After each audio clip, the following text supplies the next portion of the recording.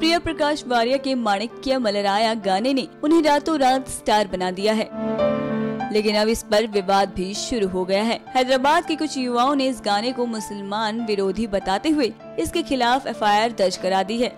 हालाँकि एफआईआर के बाद फ़िल्म के डायरेक्टर उमर लुलू की सफ़ाई आई है। उमर लुलू ने कहा है कि ये गाना इस्लामिक विरोधी नहीं है, बल्कि ये मोहम्मद साहब की तारीफ़ करता है। उमर लुलू ने कहा ये रोमांटिक गाना नहीं है, बल्कि एक पारंपरिक मुस्लिम गाना है। ये कुछ अवसरों पर गाया जाता है।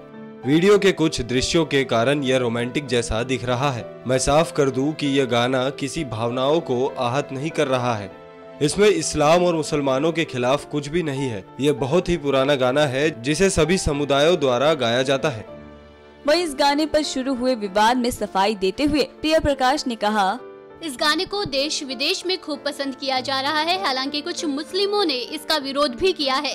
उन्हें लगता है कि ये गाना मोहम्मद साहब और उनकी पत्नी के बारे में है और इससे इस्लाम का अपमान हो रहा है। लेकिन ऐसा मानने वाले लोग केवल मुट्ठी भर हैं। मुझे लगता है कि अब ये गाना ज़्यादा से ज़्यादा लोगों के पास पहुँच रहा है।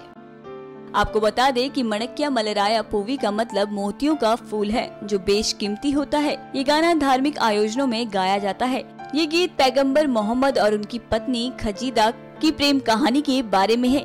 यही वजह है कि इस गाने को पैगंबर मोहम्मद का अपमान बताया जा रहा है।